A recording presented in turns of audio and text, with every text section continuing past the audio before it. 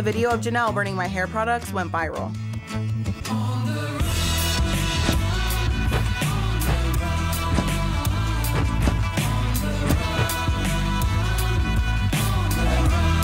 Since I don't have the kids, I decided to go away for the weekend.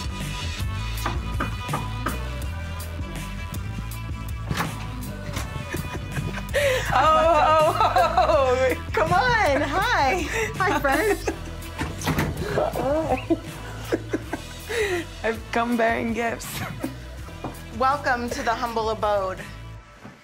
So, Jenelle lit all my hair products on fire that I sent her. like, I was kind of pumped. Do you have it? Yeah. Like, I've had $10,000 in sales today because of her post.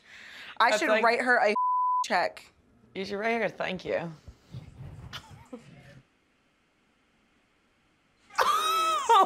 She almost sets herself on fire. It says, Negative review. Don't send me gifts and talk again. Stay hour my life and go worry about your own. How many view views does that video have? That video has almost a million views. but the thing is, like for her to act like this, I've done a lot for her over the years. Like I really truly stuck up with stuck up for her the most out of everyone in the beginning. I bailed her out of jail.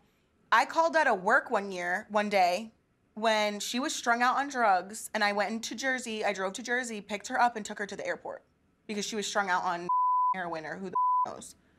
Is there like something that specific happened that like drew you guys apart? I can't really think of something that drew us apart. I mean, she's also been through a lot of like public ups and downs. She does it to herself, just like Yeah, no, yeah. anyone could say the same about me. I mean, I feel like the only time I've ever heard you talk about her is when her or what's her hus- boyfriend or whatever, David. Her husband, David. I did say on my podcast that he needed a psych psych eval.